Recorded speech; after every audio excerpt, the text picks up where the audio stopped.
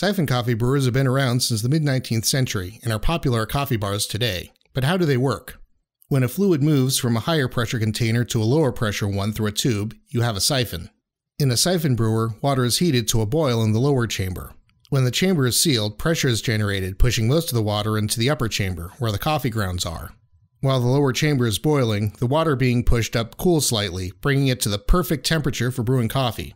The coffee grounds are fully immersed in the water, like in a French press, but the brewing time is only a few minutes, similar to a drip brewer. When the heat is removed, the pressure is reduced in the lower chamber, pulling the brewed coffee down into it.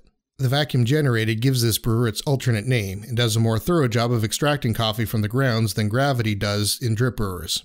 The resulting coffee balances the brightness of a pour over with the rich texture of a French press.